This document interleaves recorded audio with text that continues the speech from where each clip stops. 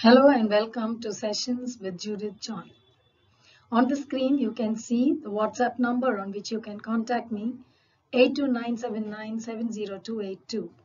You can also email me on this email ID down here sessionswithjudithjohn at gmail.com. So welcome once again. Today in this session, we're going to see the lesson Deep Water by William Douglas. So deep water is the third lesson in Flamingo textbook of class 12. Let's see before we go into the lesson what the theme is about. It's a beautiful theme and you will enjoy it. The very first line here, all we have to fear is fear itself. It's a beautiful line and it teaches us a lot of things. Somewhere all of us have some hidden fear in us William Douglas, through this essay on deep water, teaches us all that all we have to fear is fear itself and not something. Where we go wrong is we keep thinking that we fear something or some person, which is not true. So through the lesson, we go into a psychological analysis of fear along with his narration and what steps he takes to overcome fear. Through that, he teaches us how we can overcome the fear we have in us. And the most beautiful thing about it is using a personal experience. He discusses the topic of fear. There are many ways of writing an essay. Just like that, you can start writing, uh, giving a descriptive uh, kind of an essay. But here, what he does is he shares with us his personal experience and through that life's lesson that comes out of how we can fight fear. This is something very important in life because very many times we just ignore when people speak or tell share with us their personal experience but we can hear a lot about it around us from our aunts and uncles our parents our grandparents and we can learn a lot from them so this is one example where he is recalling what happened in his childhood and through that he is trying to teach us how to overcome fear. Understanding, basic understanding, sharing, relating to the first person narrative. Narrative is again something very uh, personal. You have to learn these skills. I have done it in another video session of mine. You can check out on that on how to write a narrative and sharing with others our personal experience and teaching them through that and learning from others experiences sharing understanding being empathetic relating to the instances. Like here for example it's about fear. So all this is very important. Once you get the hang of the theme of the lesson it's very easy for you to understand the rest of the lesson also. And that's why this part is very important where many a times I've seen students just ignore this part, but the theme of the lesson is so very important. Once you get a clear idea of this, you know, comprehending the lesson becomes easier.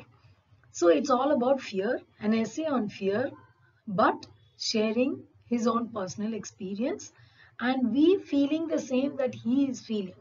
The whole thing about a narrative is that, that when you read through the narrative or listen to someone narrating, that you feel the same that that person is feeling. So this way you will not only learn your life's lesson but you will also be able to comprehend it very easily. What is the value that comes out from here? Surely there is a question on this always. CBSE insists on the value that you learn. It's about empathizing. As you read the chapter, you will feel all that the author feels, whatever he writes. It gives a very vivid uh, narration and overcoming fear now, this is something I think almost every individual I've come across has some kind of fears that they keep fighting. So how to overcome this fear and standing against bullying, very important. We have actually no right to bully anyone. Bullying is a wrong activity, should not be done. So there is a very clear example of this in this lesson. And work with strong willpower, determination and perseverance to achieve anything that you want and especially here to come out of fear. Okay. So let's go ahead learning more about the lesson. Having seen the theme, now we will go into the gist of the story.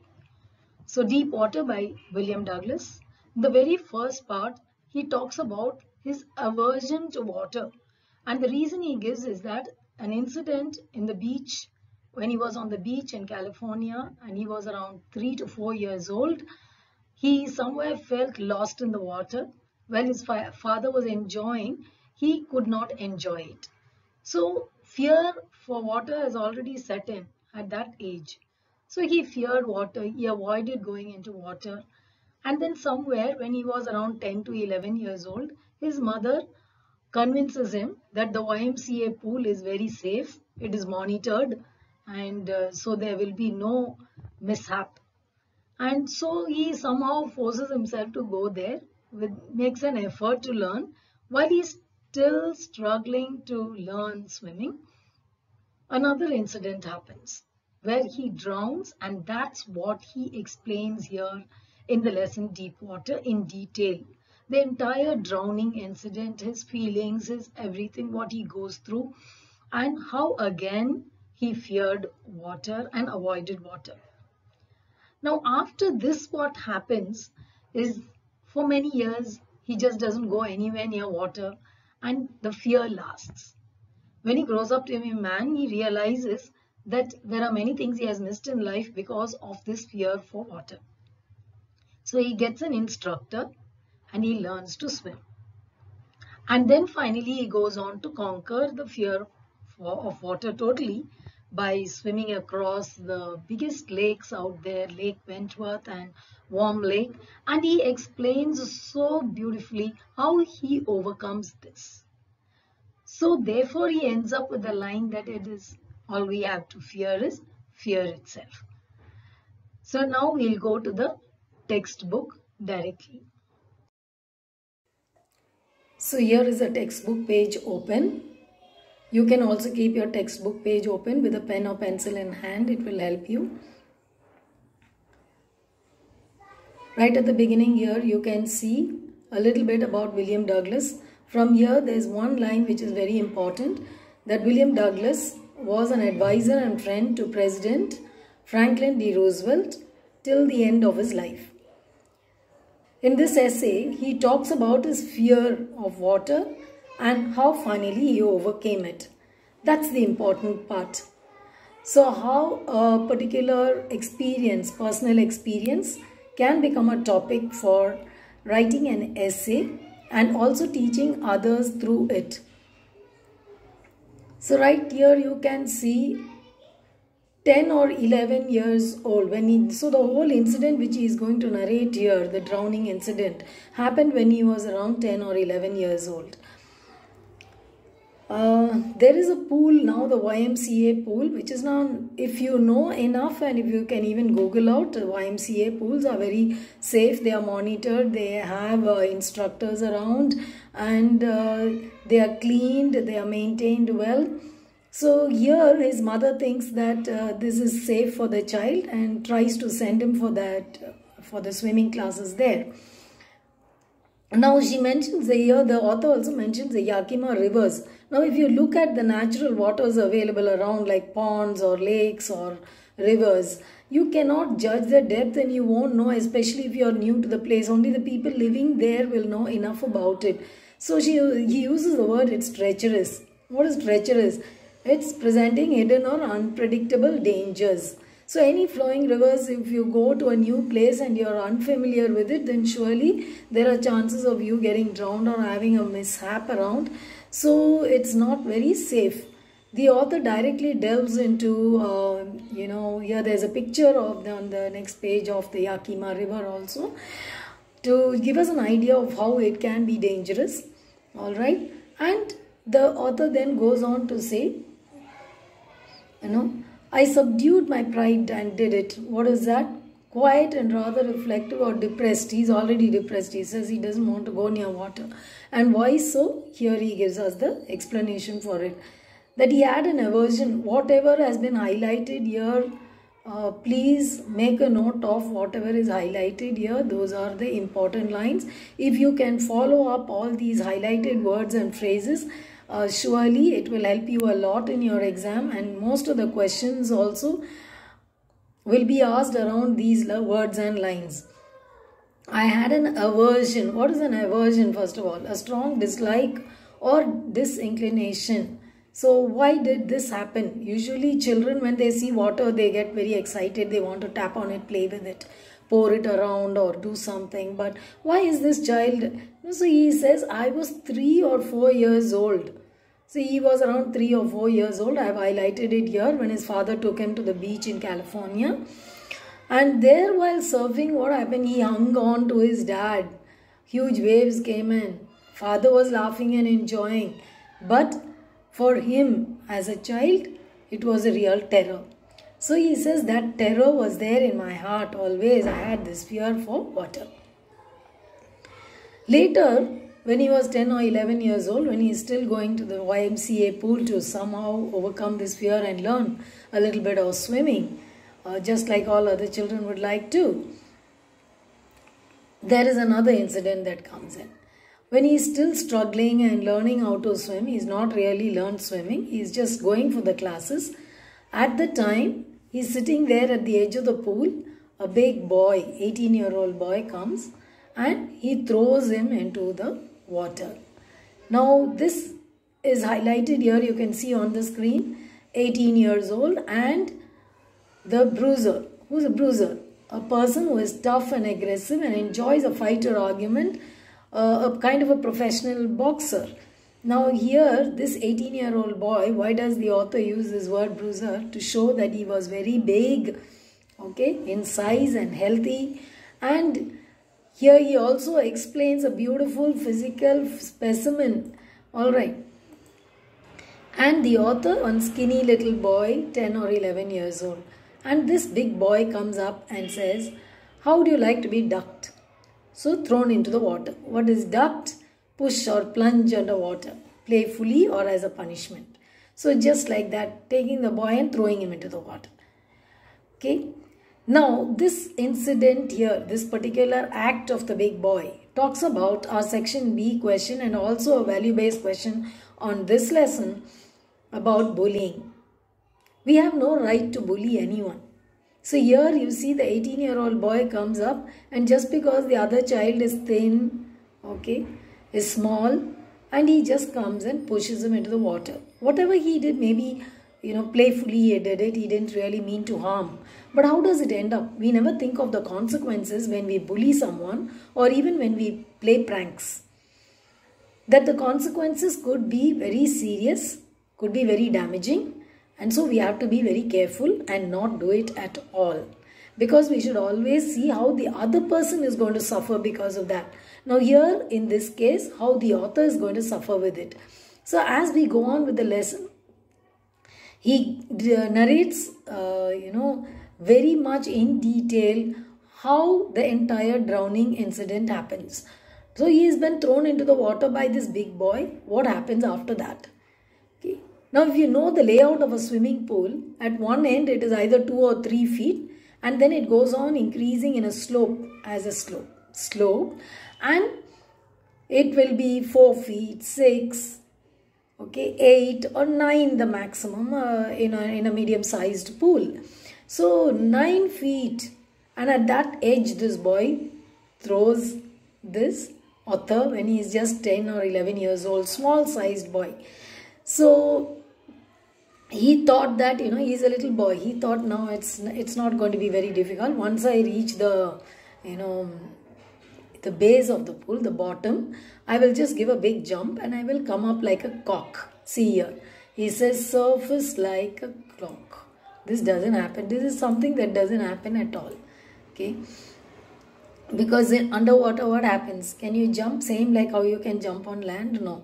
So here when he is going down you know, he can see a dirty yellow tinge of water and then that is, is literally struggling going down there. He thought he would jump and he jumped. He couldn't come out to the surface of the water. He uses the word flailed. Now this is important here. Flailed, waved or swung vigorously. Okay, like a tool used to thresh. So he is simply, you know, thrown around literally on the water here and there, but not really coming up fully. Instead, he swallows some water, gets choked, and he's going around the second time down into the water, into the bottom of the water. And so here, while going down, what are his feelings? No? In a nightmare, fights and uh, irresistible force. And what is that? Irresistible, too attractive and tempting to be resisted.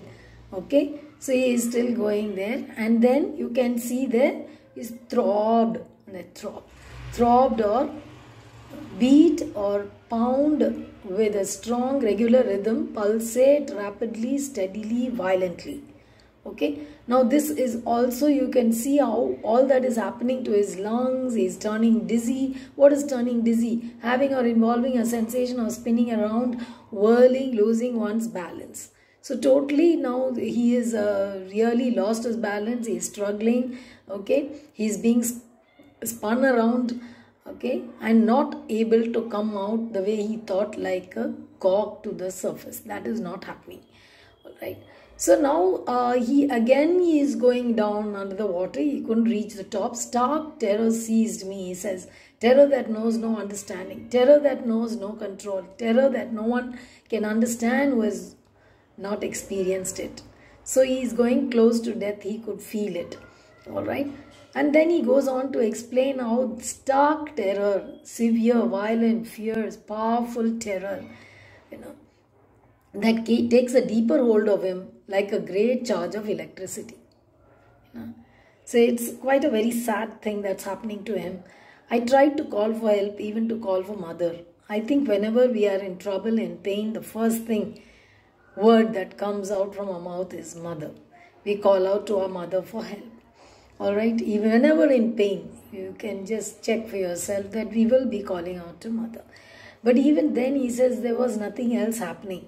And the third time he went down. Now this time he has already taken in a lot of water. He is already in a lot of pain. And he is uh, not having any strength. And he is drowning. He's going down and down and he ends it with the line, I crossed to oblivion and the curtain of life fell. In this paragraph, you'll see how he explains the last moments just before he could, you know, become unconscious. So here you can see the word oblivion, the state of being unaware or unconscious of what is happening around one. So he really goes off and he is unconscious. And he uses the beautiful phrase over here to explain that here the curtain of life fell so he becomes totally unconscious. Then you can see how he goes on. The people around somehow i have seen. The only thing he remembers after that is somebody has saved him. Somebody has put him outside of the pool and he is there vomiting and uh, coming out of uh, to you know to his normal senses.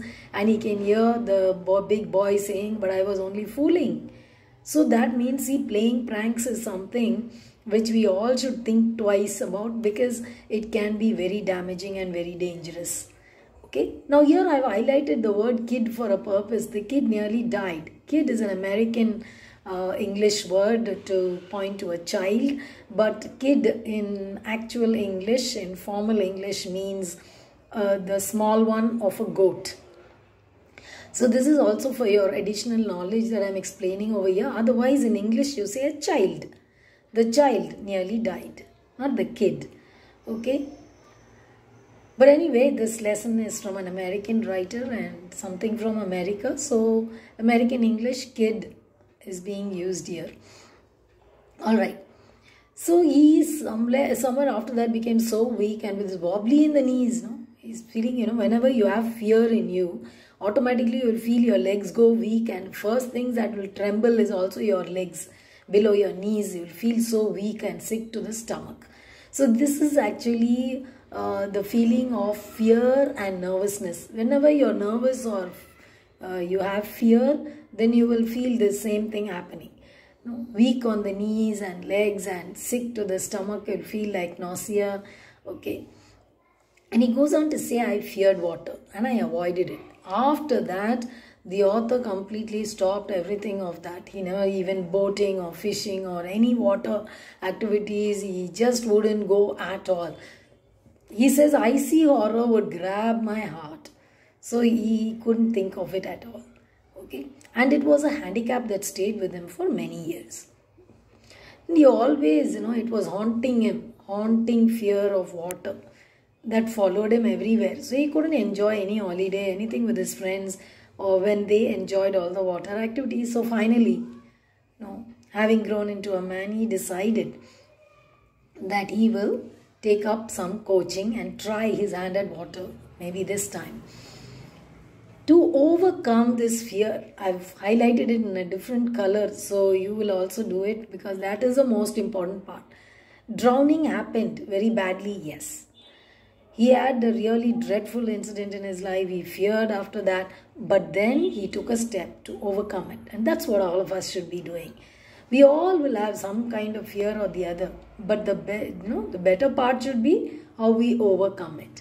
So he engages an instructor. The instructor puts a belt around him. You know, this is also very important over here. These lines highlighted. It's a one mark question again. A rope attached to the belt went through a pulley and ran over a overhead cable and he tied him and he held him and slowly one by one how to move his hands, how to move his legs, how to breathe inside. Um, you know, in exhale when he is inside and inhale when he is outside of the water. All this the instructor teaches him. Now wherever I have done this bracketing, this is also it means it's for important for long answers which you may not have now but one mark questions all this is important. What are the things he fears? The instructor what he does with him. So for three months this went on the classes went on. And then piece by piece he built a swimmer who the instructor very carefully he taught him and he taught him how to do the different strokes of swimming in water okay and finally, the instructor was finished. See the words I have highlighted over here. The instructor was finished. So he has already taught him how to swim. The best part here, what you have to learn as a student is he says the instructor was finished, but I was not finished. I would like all of you as students to remember this as, you know, to be successful individuals. The instructor is finished. The teacher will complete a work, or complete a syllabus, complete teaching the lesson, what should not finish is but i was not finished you know. Because i have to feel confident yes i know. So even after the teacher has taught the lesson what is your job? You as a student you are not finished because you only listened once. But then where is the actual learning taking place? So he goes ahead. After these classes he goes ahead goes out there not just the ymca pool or just a pool which is there but goes out to the lakes.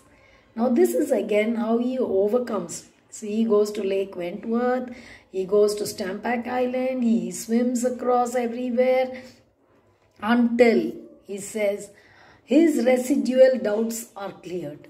So he goes around and after swimming in warm lake, then he's satisfied. He says here out in the open, in these unknown waters, in these huge lakes, I'm able to swim.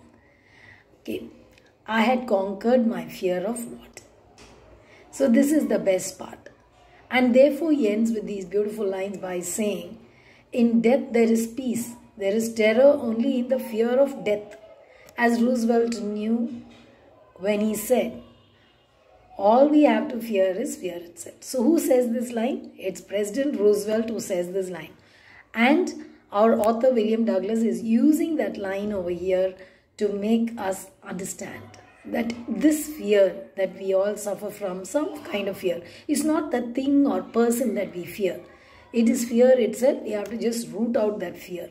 How? By taking steps to overcome it. At last, he says, I can brush, brush aside fear. Be free of it. Free to walk the trails and climb the peaks. So when will you be able to be successful in life? When you overcome all this fear. Okay? So this is a beautiful lesson life lesson. I hope all of you have enjoyed it. Please take care of all the one mark questions over here which can be asked uh, right from the beginning of the lesson. Okay? First thing is the aversion. You have to remember aversion when he was three or four years old, and then the 18 year old boy who throws him into the water. Okay, and then again how he fears water, then how he engages an instructor, and after the instructor, he again makes an attempt to really come out of the fear of water and successfully he comes out and becomes one of those best swimmers in fact. Okay? So this is the lesson. Uh, there are a few things here maybe which uh, you can think of. Instead of here writing an article and trying to narrate something of your own. It's a, it's a beautiful experience. You can also sit and write out okay? Uh, it will be a good experience of any water sport. If you have an experience of this kind write it out. So if you write it out you will also feel very nice about it and it will be a good writing practice. All right? So uh, please learn all the highlighted lines very important ones okay carefully and prepare well for your exams thank you Having seen the lesson, I thought these pictures will help you comprehend better. So drowning in the YMCA pool, you can see here the picture of the child really literally going down nine feet inside the water. So this is one thing. And then you can see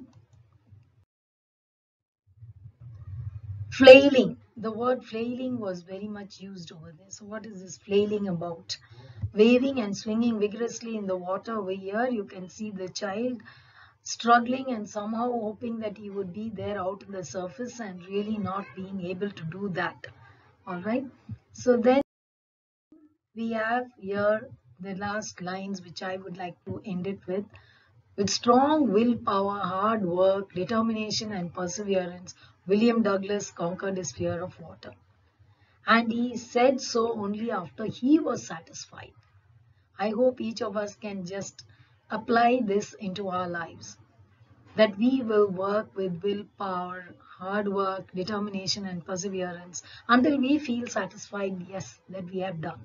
Not because teacher said, parents said, so and so said, for others, but for ourselves. Hope you enjoyed this session. Keep watching sessions with Judith John for more tips and inputs to excel and stand out. You can text your doubts and queries in the comment box over here or mail me at sessionswithjudithjohn at gmail.com for any kind of discussion, a related discussion or any kind of online tutorial that you require or you can even WhatsApp me on this number 82979 70282. Thank you. God bless you.